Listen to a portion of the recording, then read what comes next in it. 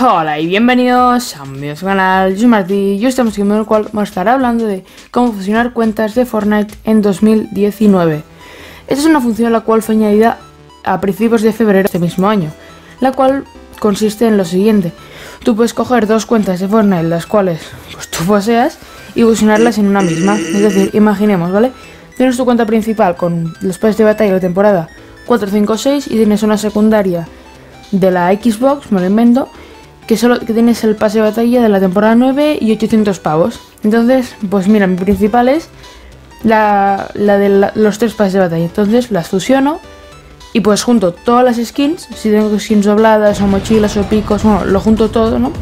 Si tengo cosas dobladas, pues se pierde. Los pavos se suman los de ambas cuentas y en Salvar al Mundo, pues básicamente lo mismo. El tema es que esta función tiene un problema. Aparte de que tardaba 14 días en efectuarse desde tu petición y, eliminas la cuenta secundaria, se terminó de poder utilizar el 6 de mayo de este año, del 2019.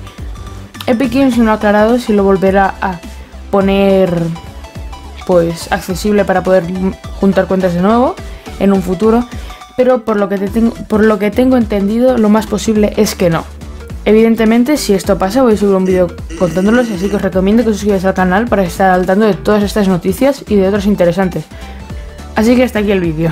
Dale like si os gusta, si no, pues no, y suscribiros si os gustan mis vídeos. Adiós.